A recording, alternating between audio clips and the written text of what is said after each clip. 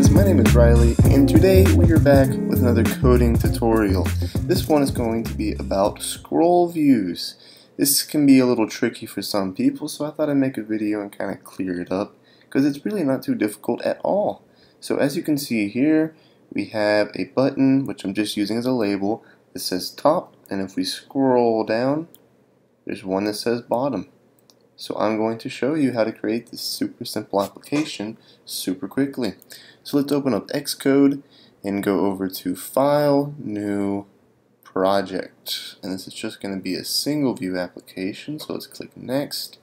I'm just going to call this Scroll App YT for YouTube. Make sure we're using Swift. Actually, it doesn't really matter too much. And we're just going to create this here. Okay. Now I'm just going to minimize these and let's go over to our main.storyboard which is where all the action is going to take place. So we have a view controller here with nothing on it so we're just going to drag in a scroll view. And then we're just going to push this all the way up to all the bounds.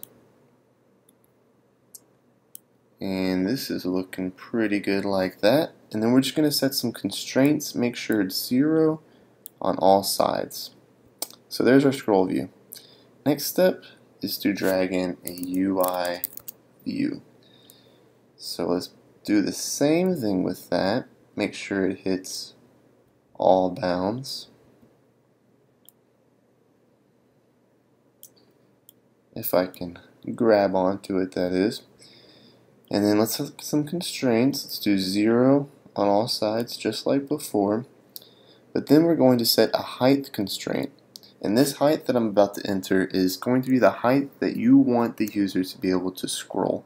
So if you want them to be able to scroll 1500 pixels, then let's do that. Now you can see we get an error here. So if you click on the view, if you control drag over to the parent view, we're going to set equal widths, and that clears up those red lines like that. And then just so you can edit things within that size, if you click on the view controller, you can change simulated size to freeform, and then set the height to whatever you selected before. We did 1500. And now we have this really long view, and we can just drag in some labels just so I can demonstrate.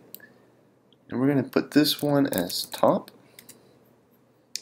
and then another one as bottom and then let's run it. We're running it on iPhone 8 Plus so these aren't actually going to be in the middle because we didn't set constraints for them but the scroll view should work all the same.